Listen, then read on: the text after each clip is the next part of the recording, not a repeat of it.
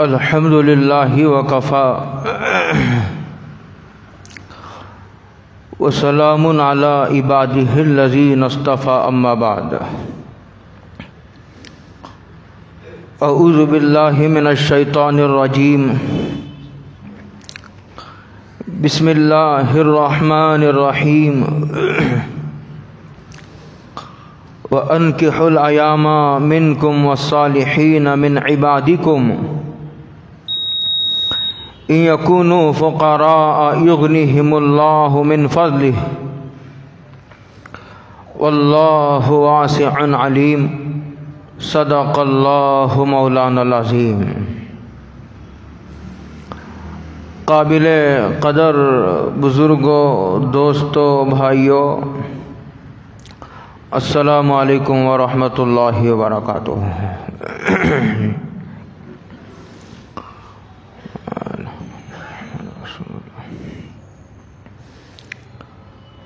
इस वक्त सूर नूर की एक आयत करीमा तिलावत करने की अल्लाह रब्बुल आलमीन ने तोफ़ी अता फ़रमाई है। जिसमें अल्लाह रब्बुल इज़्ज़त वल जलाल ने बेनिकाह मर्द औरतों का निकाह कर देने की तरगीब दी है और ज़िम्मेदारों को इसकी तरफ़ तवज्जो दिलाई है।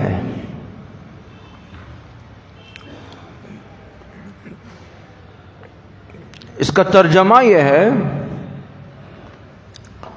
वन किहुलयामा मिन कुम वसालहीन मिन इबादिकुम।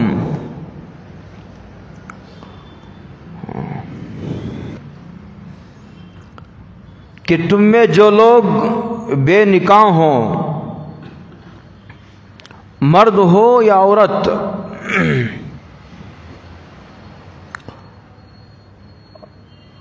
सरे से निकाह ही न हुआ हो। या निकाह तो हुआ, लेकिन तलाक हो गई। किसी वजह से खुला का मामला पेश आ गया।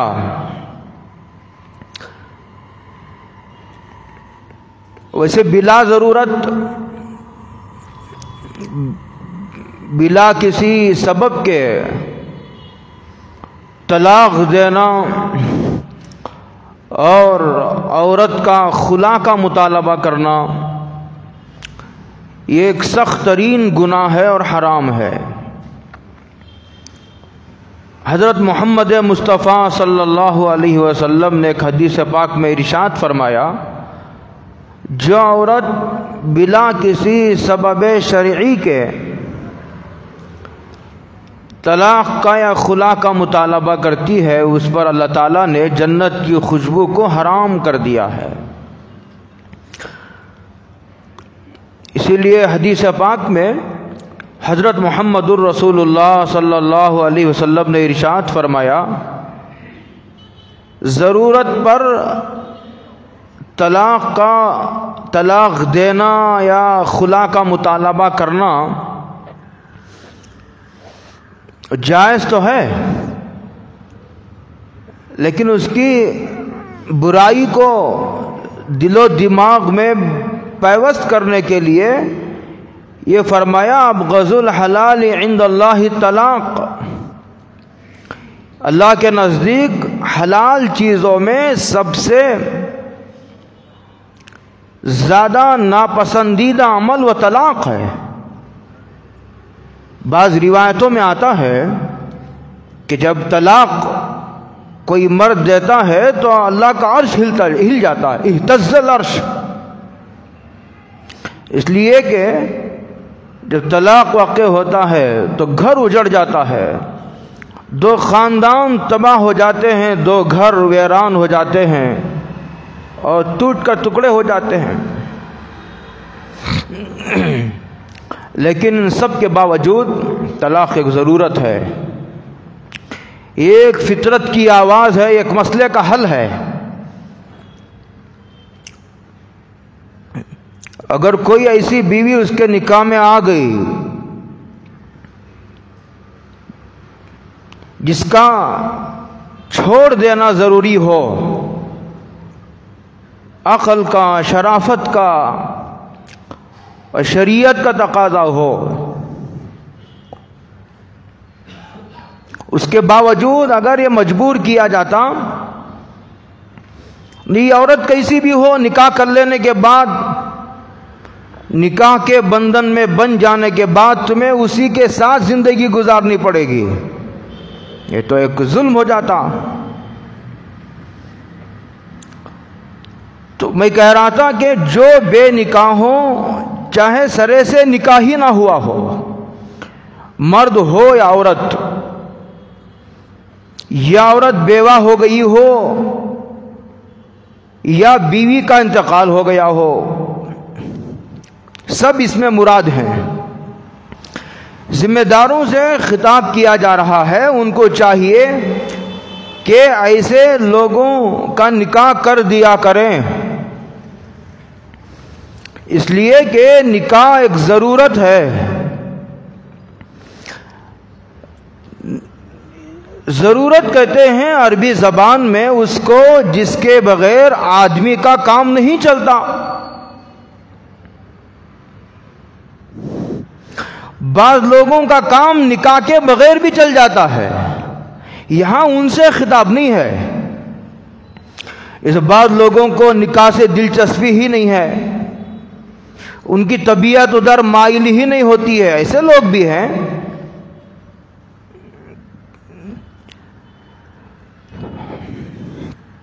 लेकिन ऐसे लोग जिनकी तबीयत औरतों की तरफ़ माइल होती है, उनको हुक्म दिया गया और तरगीब दी गई कि वो निकाह कर लें।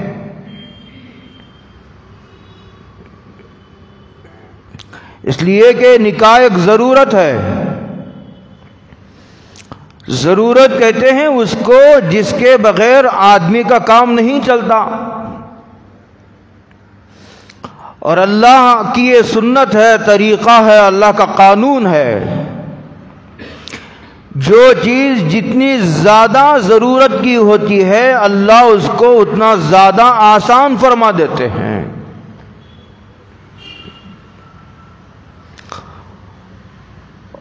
एक और सुन्नत है, अल्लाह का एक और तरीक़ा है। बसा औकात और बहुत मरतबा ऐसा होता है कि आदमी को किसी चीज़ की ज़रूरत का एहसास नहीं होता। तो वहाँ अल्लाह ताला हुक्म भी देते हैं और उसकी तरगीब देते हैं और उसके दुनियावी व उखरवी फ़वाद को खोल खोल कर बयान करते हैं, ताकि तबीयत उस तरफ़ माइल हो। इसीलिए इमामुलम्बिया सरवर कायनात, हज़रत मोहम्मद रसूलुल्लाह सल्लल्लाहु अलैहि वसल्लम ने हदीस पाक में रिशात फरमाया इंदा जमन निकाह बरकतन ऐसर मऊना। फरमाया, सबसे बाबरकत निका वो है, जिसमें खर्च कम से कम किया गया हो। हाँ तरगीब दी, निकाह का हुक्म दिया और निकाह को आसान बनाने की तरफ़ तवज्जो दिलाई और ये फरमाया कि उसमें खर्च कम से कम करो। रियाकारी की वजह से दिखावे के लिए हज़ारों, लाखों, करोड़ों रुपए पानी की तरह न बहाओ। अपने पैसे की, रुपयों की, कदर कीमत को समझने की कोशिश करो। एक हदीस में हज़रत मोहम्मद रसूलुल्लाह सल्लल्लाहु अलैहि वसल्लम ने इशात फरमाया, मेहर के बारे में कि खैरुसदा की ऐसर सबसे बेहतरीन मेहर वो है जो कम से कम बांधा गया हो। इसलिए कि मेहर का देना ज़रूरी है। एक ही तो खर्च है निकाह में एक मेहर, वही एक खर्च है जो मर्द पर आता है। एक ही खर्च है। मेहर एक ही खर्च है और वो भी मर्द के जिम्मा वाजिब है। और जितना हो सके उसे कम से कम बांधना चाहिए। हजरतुल इमाम आज़म अबू हनीफा अलैह,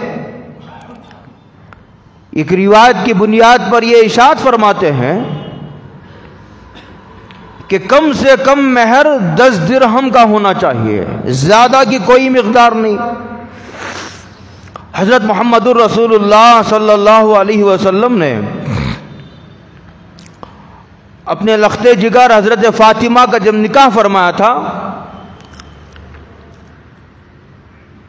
तो उनका महर तकरीबन 500 सौ दिरहम था।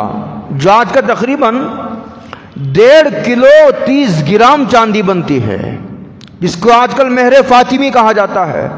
बहुत अच्छा अगर मकदार वो भी बहुत ज़्यादा नहीं है। आज के मेरे ख्याल को सत्तर, अस्सी नव्वद हज़ार इस तरह की रकम बनती है। अगर कोई मेहर फातिमे का अहतमाम करता है, वो भी बहुत ज़्यादा नहीं है। लेकिन ज़रूरत का लिहाज करते हुए उलामा ने लिखा कि अगर दस दिरहम भी किसी के पास हों तो उसको निकाम ताखिर नहीं करनी चाहिए। मुझे याद आया, एक बहुत बड़े फ़की हैं, अल्लामा इब्न नुजैम। उनकी बहुत किताबें हैं, बहुत बड़े आदमी हैं, उन्होंने एक जगह लिखा है निकाह के लिए ईजाब कबूल शर्त है। एक तरफ़ से लड़का कहे कि मैं आपसे निकाह करना चाहता हूँ। लड़की कहे, मुझे कबूल है। दो गवाहों की मौजूदगी में कहे, दो मर्द हो और मुसलमान हो और दोनों के दोनों बालिग हों। दो मर्द हो और मुसलमान हो और बालिग हों। उनके सामने अगर मर्द ये कहता है कि मुझे मैंने आपसे निकाह किया या आपसे निकाह करना चाहता हूँ, लड़की ने कहा, मुझे कबूल है। तो निकाह मुनाकिद हो गया। इब्ने नुजैम मिस्री कहते हैं कि अल्लाह ताला ने निकाह को इतना आसान बनाया, मुझे हैरत है उस मुसलमान पर।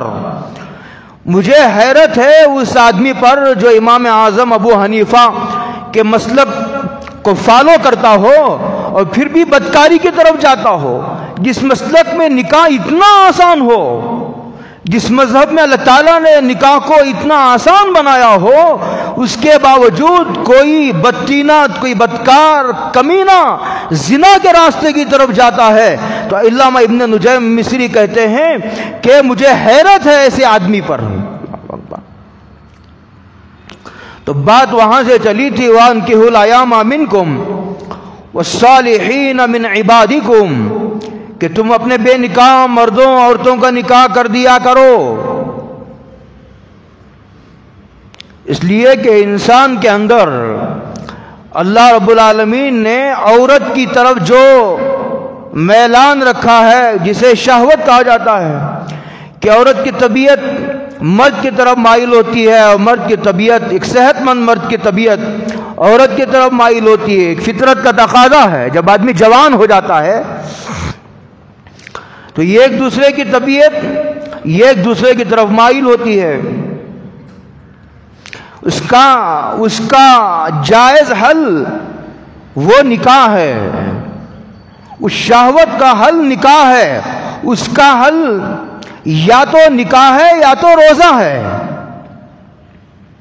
इसीलिए इमामुल अंबिया हज़रत मोहम्मद रसूलुल्लाह सल्लल्लाहु अलैहि वसल्लम ने इशाद फरमाया एक हदीस में, या माशर शबाब ए नौजवानों, या माशर शबाब ए नौजवानों तुम में जो आदमी अपने बीवी के नानो नफ़े को बर्दाश्त कर सकता हो, उसके घर का इंतज़ाम कर सकता हो उसके कपड़ों का इंतज़ाम कर सकता हो, उसके खाने पीने का इंतज़ाम कर सकता हो, उसकी दवा दारू का इंतज़ाम करने की वह सलाहियत रखता हो तो उसे चाहिए कि वो फ़ौरन निकाह करे फल जवज आगे फरमाया फ़िन अगजुलबसर इसलिए कि निकाह करने से आदमी की आँख नीचे हो जाती है, झुक जाती है और उसकी शर्मगाह के अतराव मज़बूत मज़बूत किला तैयार हो जाता है। अजीब अल्फाज इस्तेमाल फरमाए।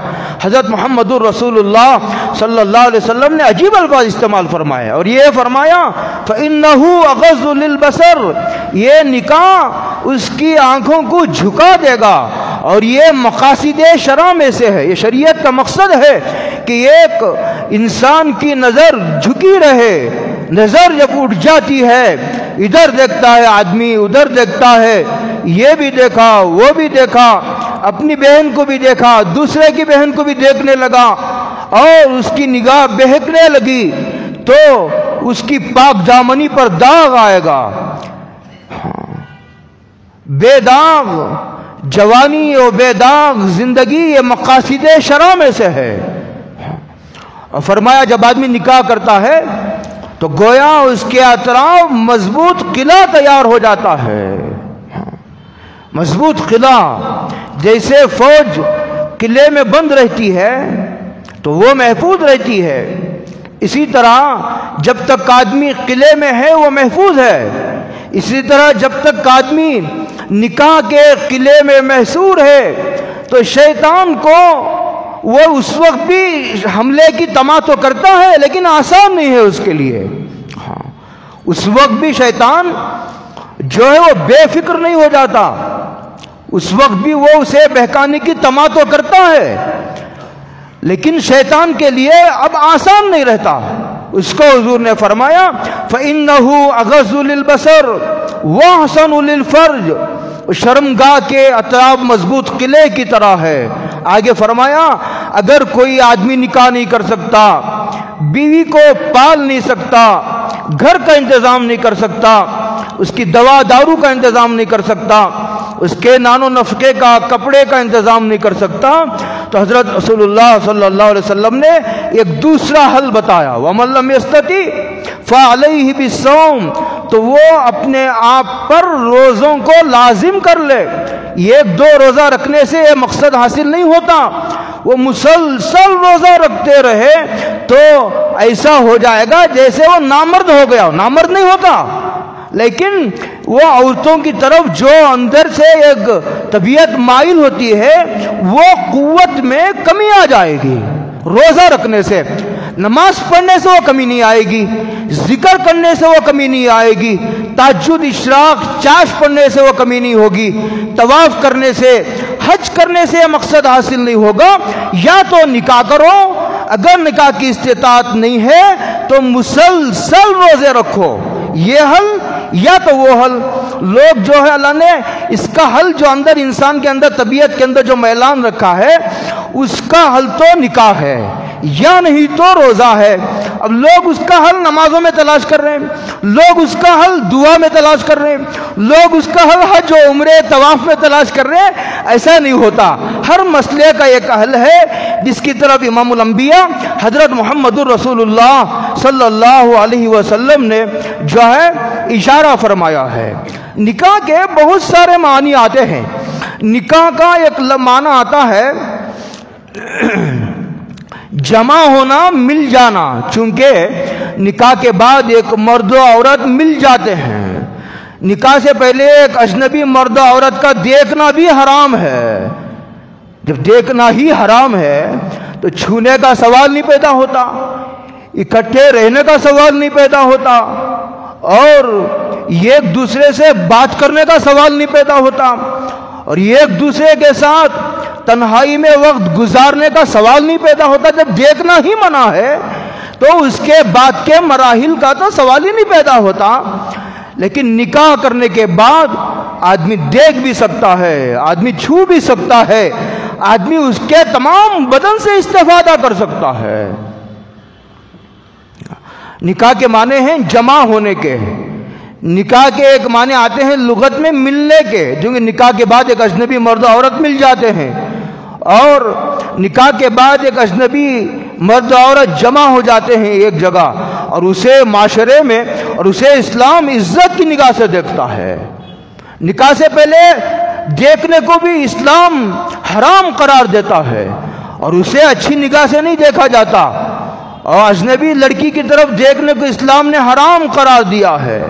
मुझे याद आता है, मुझे याद आता है हज़रत मौलाना मोहम्मद तारिक जमील साहब का वह जुमला में हमेशा नकल किया करता हूँ कि जब आदमी की निगाह उड़ जाती है कि वो ये भी देखता है, वो भी देखता है, अपनों को भी देखता है, गैरों को भी देखता है, अपनी माँ बहन को भी देखता है, गैरों की माँ बेटी को भी देखने लगता है, उसकी नज़र बहकने लगती है जब निगाह उड़ जाती है। वो उसके काबू में नहीं कंट्रोल में नहीं। तो हज़रत फरमाते हैं कि सारी दुनिया के दुर्वेश मिलकर भी उसकी दिल की इसलाह नहीं कर सकते। आज माशरा तबाह हो गया। हर मर्द औरत के हाथ में मोबाइल आ गया। इस मोबाइल ने घरों का, खानदानों का सत्यानाश कर दिया। राणा बाड़ा कर दिया, तबाह कर दिया, घर उजड़ गए। ताल्लुकात आसान हो गए। और फरमाते हैं, जब आदमी की निगाह झुक जाती है, जब आदमी की निगाह झुक जाती है तो हज़रत फरमाते हैं, सारी दुनिया के शैतान मिलकर भी उसका कुछ नहीं बिगाड़ सकते। इसलिए कि नज़र झुक गई। दूसरा फरमाया, निकाह के एक माने आते हैं, तना कहल अशजार। दो दरख्त की टहनियाँ आपस में मिल जाती हैं। उसे कहते हैं, तना कहल अशजार चूँकि मर्द औरत एक दूसरे से मिल जाते हैं। और इसके एक माने आते हैं अरबी में कि ज़मीन ने पानी को जज्ब कर लिया। बारिश होती है तो ज़मीन पानी को जज्ब कर लेती है, अपनी तरफ़ खींच लेती है। इसका मतलब यह है, मैं क्या कहूँ, मैं इशारे में कहूँगा, ये बाइज्जत शरीफ लोगों की महफिल है। निकाह के बाद मर्द औरत जितने करीब होते हैं, इतने करीब, इतना करीबी ताल्लुक तो फिर किसी का नहीं होता। आप समझ गए होंगे। पानी जज्ब कर लेता है अपने अंदर। ज़मीन पानी को जज्ब कर लेती है। निकाह का एक मतलब यह भी है। उसे आप बेहतर समझते हैं। तीन माने आते हैं। मुझे याद आता है। गालिबन ये बुखारी की रिवायत है या वह सही तरीन रिवायत है। हज़रत उकाफ एक बहुत जलीलकद्र सहाबी हैं। एक मरतबा हज़रत मोहम्मद मुस्तफ़ा सल्लल्लाहु अलैहि वसल्लम की खिदरत में हाजिर हुए बैठे बैठे हुजूर को अचानक ख्याल आया और पूछा कि उकाफ, तुम्हारी बीवी है? कहा नहीं? का तुम्हारी बांदी है? कहा नहीं? का क्या तुम्हारे पास निकाह करने के लिए पैसा नहीं है? कहा है? जब हुजूर ने तीनों सवाल मुकम्मल कर लिए, उसके बाद फरमाया, जलाल में आकर के फरमाया, तुम शैतान के भाइयों में से हो। अकबर। ये मैं नहीं कह सकता। अंबिया के बाद सबसे ज़्यादा काबिल कदर और काबिल एहतराम तबका वो सहाबा का है, जिसके दिल में अंबिया के बाद सहाबा का मकाम व मरतबे का एहतराम और कदर न हो, उसके गुमराह होने में कोई शको शुबे की गुंजाइश नहीं है हाँ। अंबिया का एहतराम भी ज़रूरी है अंबिया के बाद सबसे ज़्यादा काबिल एहतराम तबका वह सहाबा की मुक़दस जमात का है। अंबिया के बाद जिस जमात की अल्लाह ने, जिसके तकदस की, जिसे तकवे की गवाही दी है वह सहाबा की जमात की गवाही दी है, उसके पाकिजगी की गवाही दी है, उसके तकवे व तहारत की कुरान ने शहादत दी है। दूसरा, लेकिन हज़रत रसूलुल्लाह सल्लल्लाहु अलैहि वसल्लम तो सहाबा के भी बड़े हैं। उनको हक है। तरबियत का, डांटने का, गुस्सा होने का, फरमाया उकाफ को कि तुम शैतान की भाइयों में से हो। और फरमाया दूसरा जुमला, अगर तुम नसरानी होते तो उनके राहिबों में शुमार किए जाते।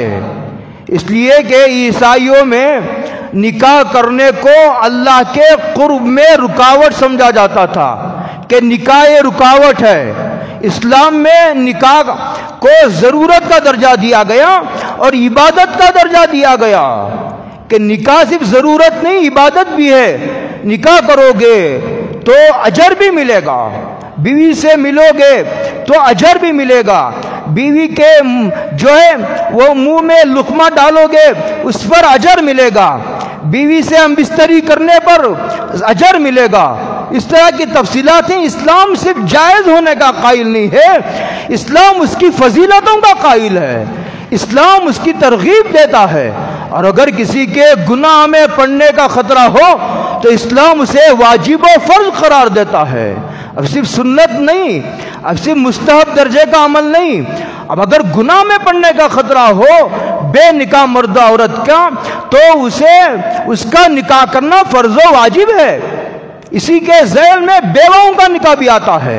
मुफसरी ने बड़ी सराहत और वजाहत के साथ लिखा है कि जो तुम में बेवा हो, औरत, या ऐसा मर्द हो जिसकी बीवी का इंतकाल हो गया हो तो उसका निकाह कर दिया करो, ये फरमाया। और ये लिखा मुफसरी ने, जो लोग बेवाओं के निकाह को ऐब समझते हैं वो अल्लाह के हलाल को हराम करार देते हैं। और तुम में किसे हक है अल्लाह के हलाल को हराम करार देने का?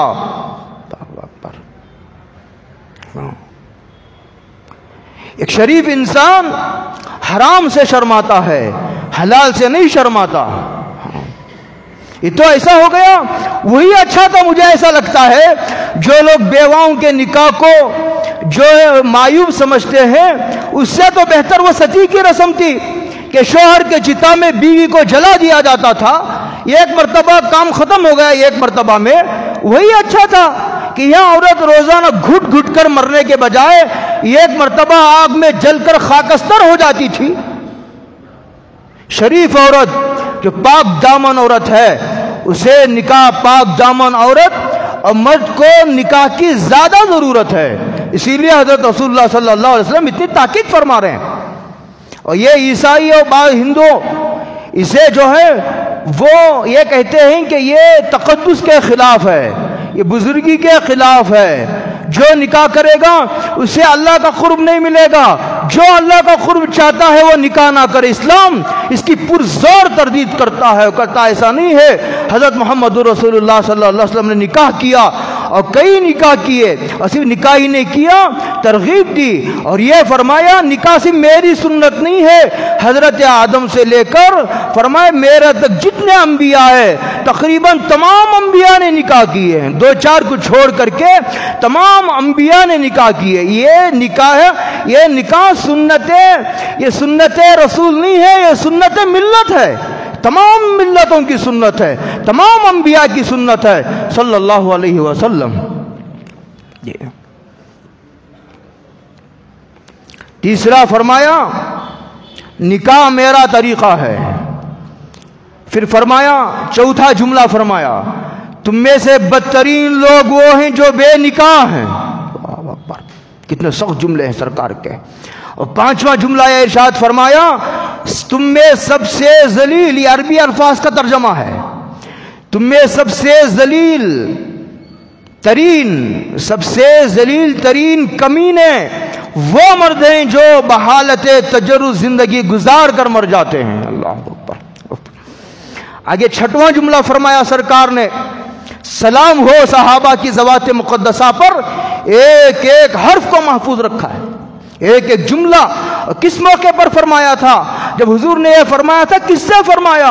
और जब फरमाया, कौन मौजूद थे? सारी तफसीलात रिवायतों में मौजूद हैं। फरमाया, क्या तुम लोग शैतान के तख्ते मश्क बनना चाहते हो? शैतान का वो हथियार जो अच्छे लोगों में, जो अच्छे लोगों में आसानी से उतर जाता है, वो औरत है। अबू दाऊद की रिवायत में हुजूर ने फरमाया, मेरे बाद मर्दों को सबसे ज़्यादा नुकसान पहुँचाने वाला फितना व औरतों का फितना है। अल्लाह अकबर। सल्लल्लाहु अलैहि वसल्लम। उसके बाद फरमाया, जिन्होंने शादियाँ की वो पाक दिल वाले हैं, सिया अमाल से दूर हैं। आठवां जुमला फरमाया, उकाफ, अफसोस है तुझ पर। आप देखा नहीं, हज़रत दाऊद को हज़रत यूसुफ और कुरसुफ कुरसुफ भी एक ज़माने माकबल के जाए एक एक बुज़ुर्ग हैं जिन्होंने 300 साल इबादत की और ये एक औरत के फितने में मुबतला हो गए। बाद में फिर उन्होंने फिर तोबा की, फिर अल्लाह उनकी तरफ़ मुतवजह हुआ। हवाला दिया। फिर नवा जुमला फरमाया, काफ, अफसोस है तुझ पर। निकाह कर वरना तू हमेशा तजब्जुब की हालत में रहेगा, तुझे कभी इतमान नहीं हासिल होगा। अल्लाह अकबर। सल्लल्लाहु कुरान करीम ने सिर्फ़ निकाह करने का हुक्म ही नहीं दिया, एक जगह फरमाया फन की हु मातबलकुम मिनसा मसना वसुला सा वो रुबा। अगर किसी को किसी का काम ये बीवी से चल जाता है तो बहुत अच्छा। लेकिन अगर किसी को दूसरे बीवी की ज़रूरत हो, इस वजह से कि उस बीवी को शोहर से ज़्यादा दिलचस्पी नहीं है, जिमा से ज़्यादा उसे दिलचस्पी नहीं है तो दूसरी भी कर सकता है। या नहीं तो मुसलसल बीमार रहती है। बीमार बीवी को लेकर क्या करेगा? या नहीं तो बच्चा पैदा करने की सलाहियत खत्म हो गई है। या नहीं तो कभी ऐसा भी होता है कि माशरे में, सोसाइटी में औरतों की तादाद मर्दों से बढ़ जाती है। अब इसका क्या हल है? एक मर्द एक औरत से निकाह कर लिया, अगर दो, तीन, चार से निकाह को अगर हराम करार दे और बाकी औरतें क्या करेंगी? क्या बदकारी के रास्ते पर जाएँगी?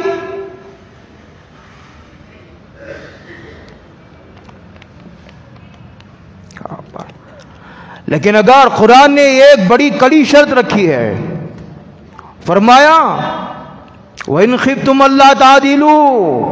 अगर तुम अदल नहीं कर सकते, मुसावात का बर्ताव नहीं कर सकते, बहुत कड़ी शर्त है, अगर बराबरी नहीं कर सकते तो दूसरा निकाह करना हराम है हराम है, हराम।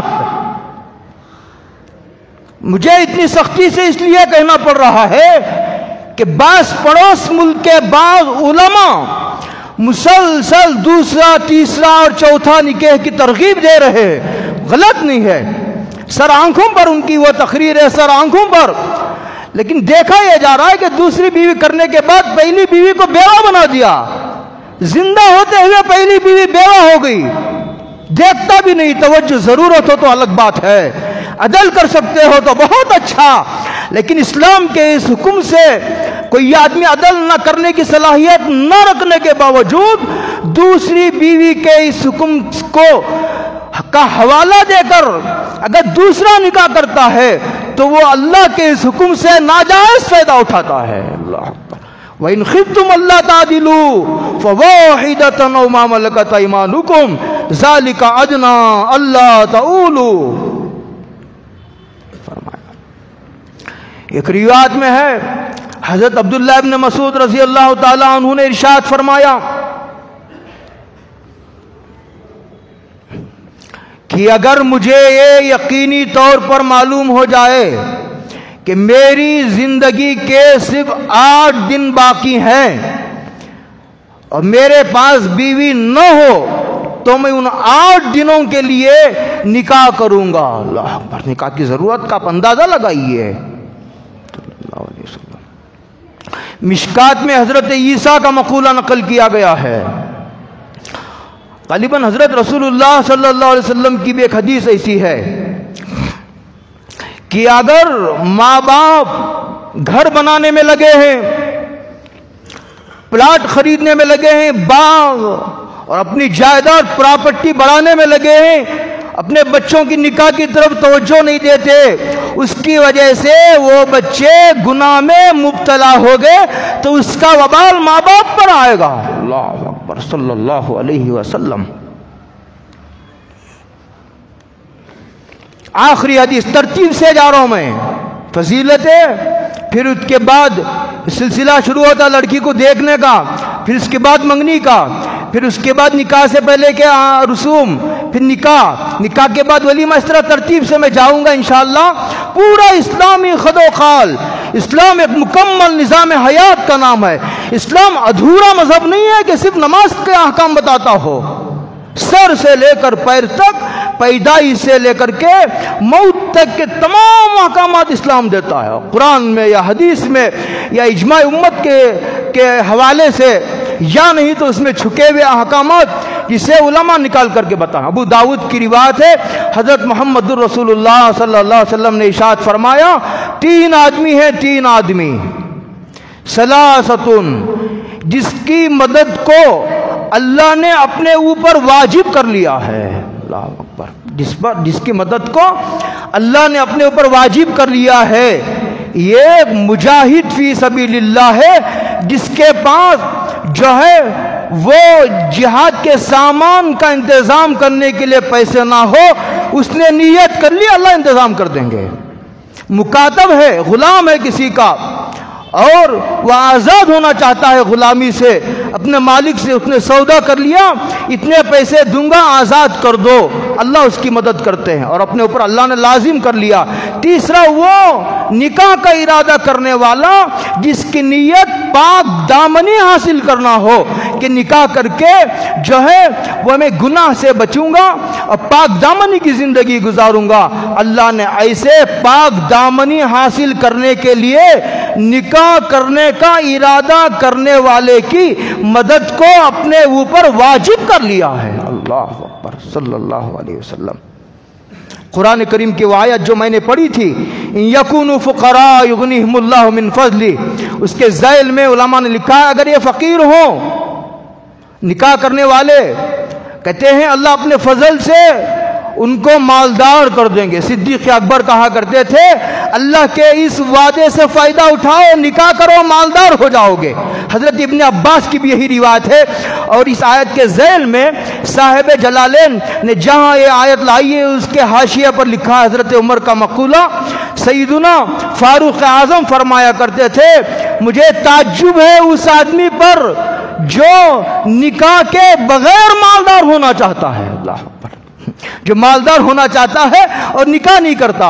यकून फ़ुकरा फजली। लेकिन शर्त बड़ी कड़ी है। वो कड़ी क्या है? इरादा माल हासिल करने का, मनसब हासिल करने का, इज़्ज़त हासिल करने का, हसब नसब में फ़ख्र करने की नीयत ना हो। पाक दामनी की नीयत हो तो अल्लाह ताला लड़की के नीयत में भी बरकत डाल देते हैं और नीयत करने वाले मर्द की नीयत में भी अल्लाह बरकत डाल देते हैं। इसलिए कि नीयतों को अल्लाह जानते हैं। वल्लाह वासिन अलीम। ये मुख्तसर बातें थी, ये निकाह की तमहीदी बातें थी। उसके बाद सिलसिला तरतीबवार चलेगा और इसकी इंतहा को पहुँचेगा। अल्लाह अमल की तोफ़ी अता फ़रमाए। वाखिर दावाना अलहमदिल्ला